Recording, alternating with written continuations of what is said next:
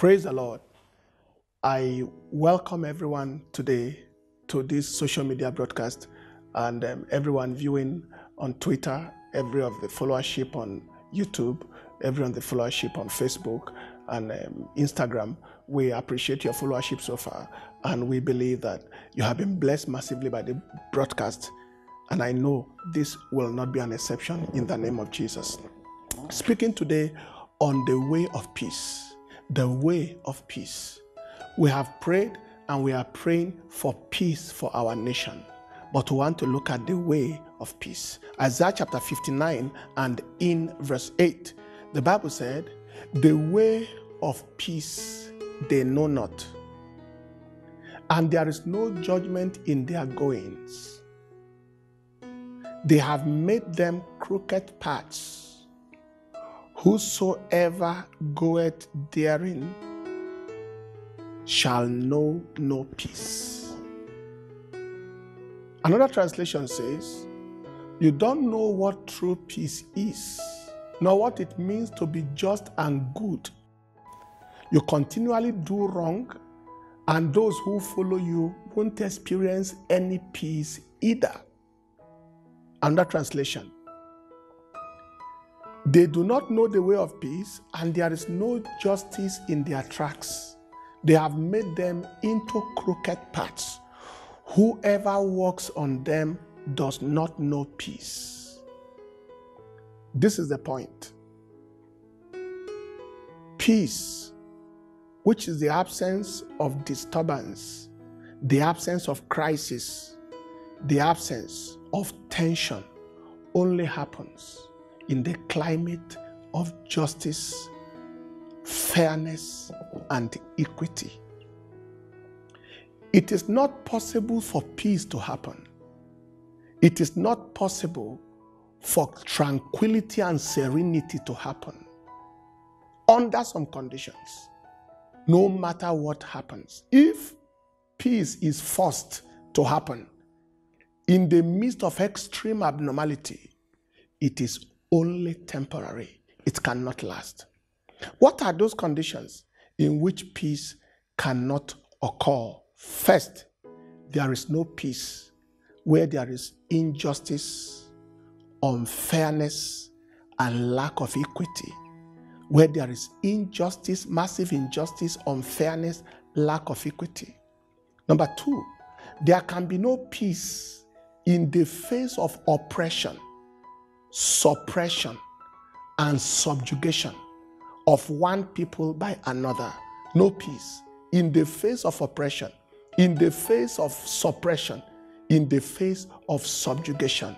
Thirdly, there can be no peace in the face of nepotism, tribalism, regionalism, religionism, and every form of such prejudice. There can be no peace.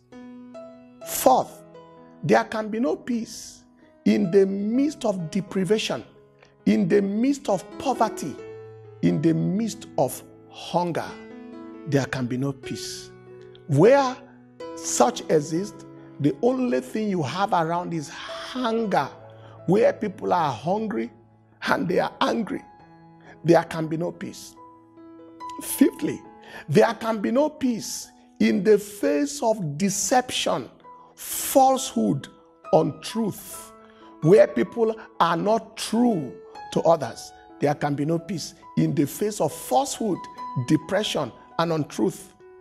Sixthly, there can be no peace in the face of indiscretion and unwisdom, where people function and act as if either they are not thinking or the people they are dealing with are taught not to be thinking.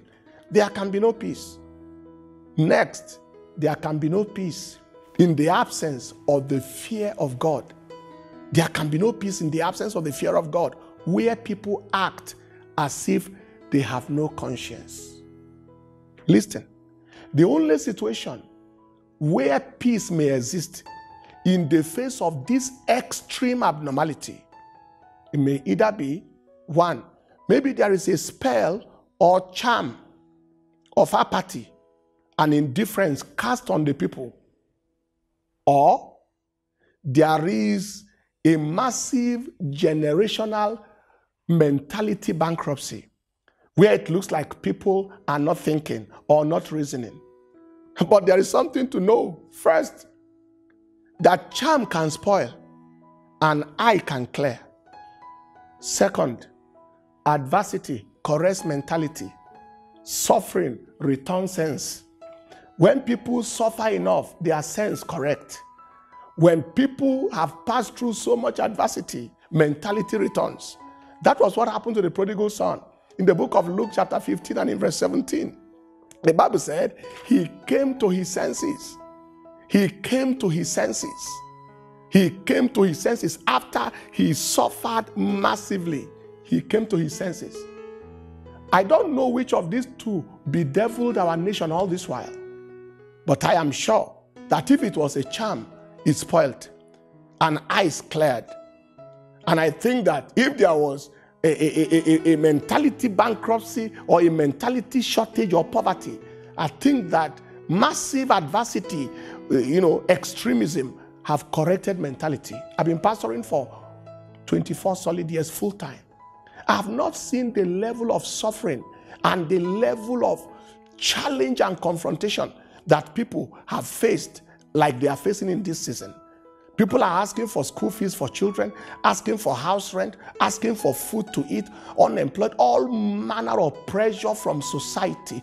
The suffering is massive and the senses are getting corrected. Now we have faced such level of oppressiveness in our land, such level of frustration in our land, such level of suppression, where in one segment of the, of the nation, blood will flow like water. Killings and killers will arrive, level a whole village overnight. In some cases, they will own up that they are the ones who did it for the sake of whatever reasons they, they, they, they claim. Nobody is arrested, nobody is prosecuted, nothing happens, no consequence. In another part of the country, probably the southwest or south south or southeast, some people come out for demonstration, and before you know it, people are leveled to the ground. People are arrested. All right? So there is one law for one part and one law for another part. That is the situation we have faced so far the situation of injustice and inequality. Now, you look at the situation with appointments and positionings, and it will appear to you as if intelligent people don't exist in no other part of the country apart from some parts of the country. We have a multi ethnic country we have a multilingual country. We have a multi religious country with two dominant religious bodies in the nation. But if you look at sensitive positionings, whether it's in the executive, in the judiciary, in the legislative, in the military or paramilitary, it appears as if there are no people in any other part of the country. Take a look at this. You have President Northwest Muslim, you have Senate President, Northeast Muslim, you have INEC Chairperson, Northwest Muslim, you have Speaker of the House of Representatives, Southwest Muslim.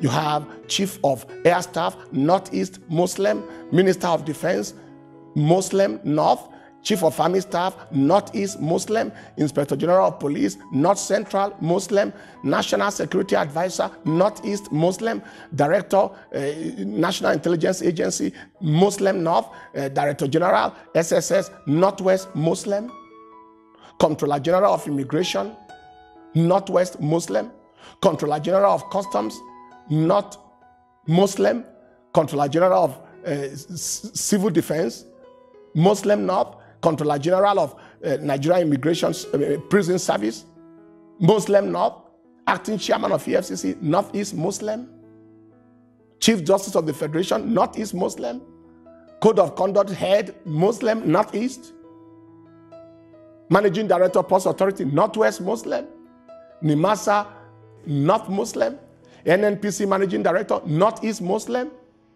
Minister of Education, Northeast Muslim, National Universities Commission, Northwest Muslim, JAMB, Southwest Muslim, and so on and so forth.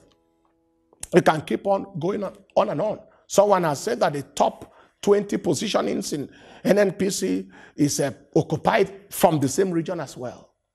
What comes to mind is there is no intelligent person and no qualified person from any other part of the country. There is no intelligent Itsekiri person, no intelligent Ijaw person, no intelligent Birom person, no intelligent Magavul person, no intelligent Tiv person, no intelligent Idoma person, no intelligent Igala person, no intelligent Ibira person, no intelligent Ibibio person, no intelligent Anam person, no intelligent Efik person, no intelligent Ishan person, no intelligent Bini person, no intelligent person from no other part of the country that can be in any of those sensitive positions except people from one region and one religion. And people are meant to be forced to exist in peace under that kind of upside down, highly nepotistic, clanistic situation. And that is absolutely impossible. If it was a charm, it cleared. If it was a, a mentality bankruptcy, mentality is returned. It's impossible. There can be no peace in such level of inequality, in such level of brazen effrontery are taking a whole nation for granted. Nations of the world did not experience one, one over 100 of what Nigerians have experienced and scattered in pieces. Soviet Union is nowhere to be found. Yugoslavia was one country that scattered and splintered into eight countries out of one country. Czechoslovakia splitted into two. They didn't see one over 100 of what we are seeing. Nations in the world that are wise enough, that are multi, multi-ethnic, did their best. The United Kingdom, even though it's a nation, has ethnic groups that took care of the ethnic groups and gave regional autonomy to the Scottish, to the Irish, and the Welsh. Switzerland have has four ethnic groups, and they make their presidencies sit to revolve around these four groups. What is the solution to the situation in our land today? If there must be peace, there must be equity, there must be fairness, there must be justice. People have clamored for restructuring. It is the devolution of power Otherwise, there may be the dissolution of union. It happened in other places. And we pray and trust God that it doesn't happen in our nation. It's not time to play the ostrich and hide the head under. What is not confronted cannot be conquered. In medicine, we call something the debridement of wounds. You expose wounds in order to repair them. You clean them out in order to repair them. You make them bleed. Truth is what heals. And if truth is not spoken, healing doesn't happen. And it is time to tell the truth. People have been suppressed, subdued, subjugated, and treated second rated as if they don't have sense and they don't have reasoning. And this nation is one of the most intelligent nations in the world. Our doctors, our professionals are the most intelligent around the nations of the world. Nigerians and Nigeria people have the highest rate of PhDs in America of any ethnic group apart from maybe Americans themselves. And it is time for us to sit up and say these things must be corrected and do the right thing, and we do the right thing on time so that Jehovah can hear us and answer our prayers. As for every protest going on, two wrongs don't make a right. Protests are encouraged to be very peaceful, very calm. No destruction of lives, no destruction of properties in any form. Let life not flow because there is abnormality in the land. And we believe that the Lord will help us. God bless you. And I know you will not remain the same. Share this link with your friends and let every one of us join forces together with God Almighty and let our land be healed and be saved. In Jesus' precious name, amen.